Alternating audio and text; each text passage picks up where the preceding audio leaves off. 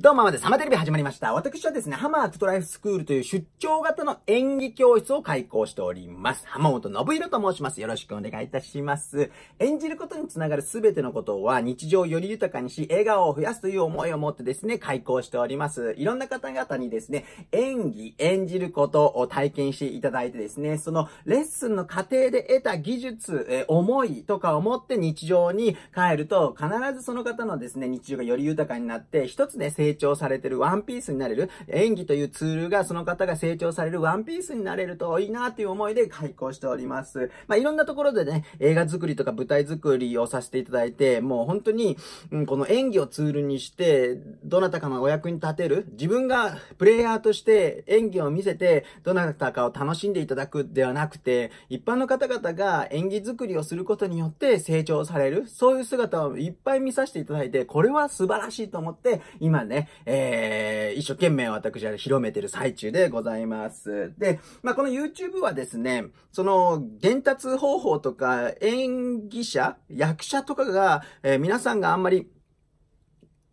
意識してないことを役者や表現者って意識して皆さんにより分かりやすくとか心に届きやすくする技法を、まあ、テレビの中とか映画の中、舞台からですね、技術として、技術としてそれを使っています。その一部分をですね、この YouTube ではね、簡単にできることをご紹介していければいいなと思っております。で、まあ今日はですね、まあ伝えるときにですね、これ意識したら、より相手の心にぐさっとね、あスコーンとね、響くよっていうことをお伝えしたいなと思います。まあ芸能界、私はですね、よく、うんと、22、23か、23の時に上京して、今44なんですけども、今現在もプレイヤー、役者をやってますけども、芸能界には属してないので、芸能界でのお仕事は今現在はしておりません。で、えー、つながでね、お願いされたら、あの、俳優、役者もしても、しておりますが、今現在は基本的には、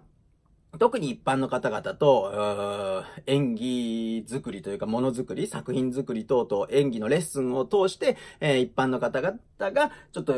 楽しかったとか、ワクワクしたりとか、ドキドキしたとかっていう思いをしていただければいいなと思って、演技講師をしております。で、あのー、さっきお伝えした、今日は、えー、と、その、20後半から30前半ぐらいの間に、私5年間ぐらいですけども、芸能界でなんとか飯が食える時期があったんですが、その時にね、いろんな方々のスーパースターのお芝居を拝見したりとか、思いとか、考え方とか勉強させていただいて、それは今も一括させていただいております。で、まあ、そのうちの一つですね、えっ、と、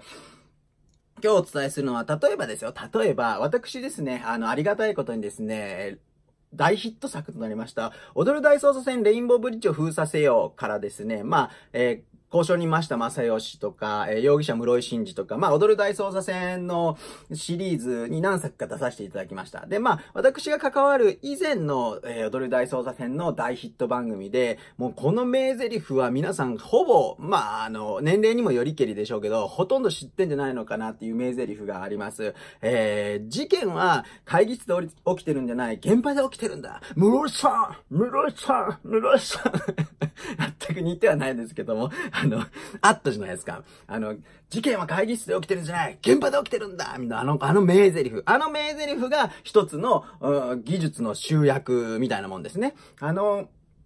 あの、何が隠されてるかっていうと、まあ、要は現場で起きてんだよって。現場で起きてんだ早くしてくれよっていうセリフよりも、えっ、ー、と、対比するものをセリフの中に入れてます。まあ、現場と会議室、まあ、屋外と屋内っていうものを置いて、で、どっちのワードが強いかっていうと、屋外ですね。現場ですね。それを後側に持ってくるっていう技法が使われているっていうことでございますね。なので、人に何かを頼んだり伝えたりするときに、自分が思ってることとは反対のワードを頭頭、先に持ってきてあげると、相手に伝わりやすいっていうのが、これはもうデータとして出てますんで、もしそれを意識して、例えば、で、部下の方に何か言う時とか、友達に何か言う時とかに意識して、反対のワードを1個つけて、